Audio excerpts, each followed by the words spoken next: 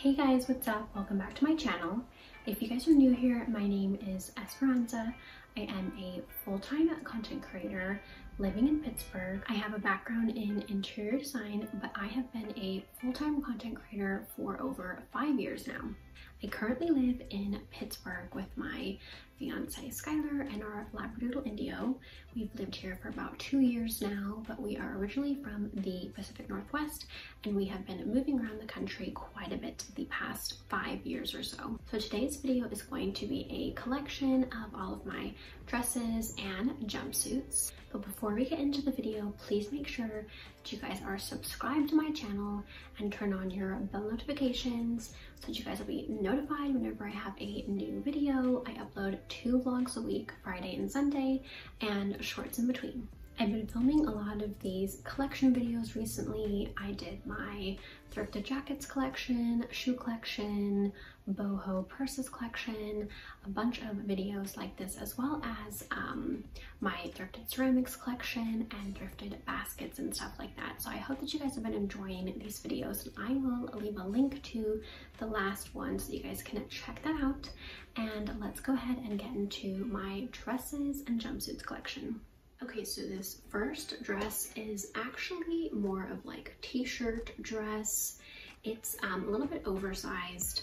I think it's a size medium or large. Um, oh, I'm totally wrong. It's actually a size small. So on me, it's pretty big, but it's supposed to just have like this oversized feel to it. And it's kind of like a dress that I like to wear around the apartment when I want to be comfy. Um, I have styled it before with like knee-high boots and that was pretty cute lots of ways to style this. This was an Urban Outfitters find. Um, I got it from like the clearance section, I think like four or five years ago, Silence and Noise. So I've had that one for a while. So I try to stay away from fast fashion, but I do have a couple of fast fashion dresses in this collection. I don't have a ton of dresses as it is. I really want to collect like some more classic, timeless dresses that are kind of like staple dresses that I can wear over and over again and style a ton of different ways. So for now, I'm just gonna show you guys dresses that I have. I have kind of been um, purging some stuff recently, but this is a fast fashion dress that I have kept for quite some time now. I love the boho feel of it, kind of like the feminine feel with these like ruffled sleeves. Sorry about the lighting guys. It was sunny when I went to start filming and now I think it's probably gonna start raining soon so I'm gonna try to hurry this up as fast as I can. But I love the details on this dress from the peephole in the center of the like chest details and then the stretchy ruffled back as well is really nice. And it is a super long dress like down to the floor on me very pretty and kind of like an eyelet style material. This dress is also from the same brand, which is Chicwish. I've had both of these dresses for, I wanna say like four plus years. So I've had them for quite some time.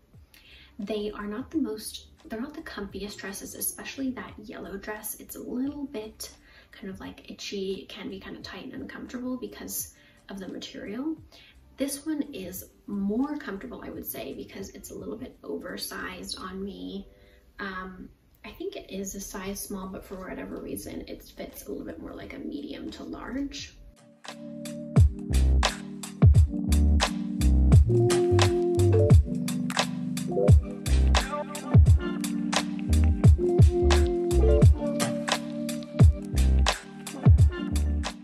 But I love this like fun summer plaid. I've actually styled both of these dresses in like Western style photo shoots. They both definitely lend themselves towards that like style and vibes. This one is also, it's about tea length on me, so not quite all the way down to the ground and it's a little bit more like flowy. And like I said, it fits a little bit bigger on me, so more of like a casual oversized feel almost. Okay, so this was a thrift find. I thrifted this at my local Goodwill bins. It is this really pretty macrame cover up, like slip dress. I styled this in Arizona with my new Saturday swimwear swimsuit, which is kind of like in this color, a little bit of a deeper brown. And it was really, really pretty with like a cute cowboy hat and stuff. So I definitely plan on styling this more whenever I can. No brand or anything like that. So definitely a unique piece. Okay, so it's really dark all of a sudden, but I really want to finish this video. So I'm going to try to go through the rest of these really quickly. So here is another thrifted dress. This is a St. John's Bay dress. It has a little tie in the back. So just like a classic white summer dress would look super cute with like a little um, summer, like a straw summer hat. That's probably how I would style it. Another thrifted dress. I thrifted both of these at the Goodwill bins for this summer. This is a wrap dress. that looks a little weird right now because it's not tied properly, but it is from like the 90s, I believe. Lord's Rose is the label and it looks like a vintage 90s label. It's this really pretty um, brown color with like a little dainty white floral print on it. So very cute. Kind of has like some retro vibes and 90s vibes, which I also love. Okay, so I have two dresses from Grey State Apparel that I want to show you guys. I have actually shown these in a haul from probably like a couple months back or something, so you guys probably have seen these before. The first is this really pretty short sleeved dress with kind of like tiered like pleats in it, three of them. So very classic, very chic, and also like a really nice um, modest style as well. And then this one is a little bit more, I know that there's like a certain name for this style, but I can't think of what it is. So it's um, like a tiered dress with like the three plates in it. Um, it is really like fluffy and flowy. And then the top of it is this really nice stretchy like tank material. So both of them are super comfy and they are sustainable as well, that brand, Grey State Apparel. So definitely check them out. Okay, so I wanted to show you guys this jumpsuit really fast before I show you the rest of my dresses and jumpsuits because it is from Unpublished Denim. The rest of the pieces I'm gonna show you guys are actually from Able, a brand I've worked with a ton over the past like three or four years. So this is from Unpublished Denim. It has like a white, so it's kind of like an off-white. Um, it's not linen, but it almost has like a linen look to it. I've worn this quite a bit. I styled it a lot in Arizona, especially. Phoenix and Tucson. It's super comfy and easy. I love jumpsuits because they are just like so easy to style. I usually just will throw on like a hat, like a wide brim hat with some ankle boots or something and loved that. So great for summer. Okay, so starting off with a few of their older season items. I believe I've had this for about three years now. It is, it is a black kind of like maxi um, not a shift dress, I'm not sure what you call it, I guess just like a t-shirt dress. So it's three quarter sleeves, very baggy, and it's super, super comfy. I love this for whenever I'm like running errands or even just for like lounging around the house and because it's very comfortable and it's also like a very classic piece so lots of ways to style it as well with like basics classic pieces I'll usually style this with like a leather tote bag or something, some cute ankle boots, even like some cute white sneakers or something. Tons of ways to dress this up or down. Okay, so this denim jumpsuit from Able I've had for a couple of years now. It has this little like tie around the waist so you can like cinch it up, which I love.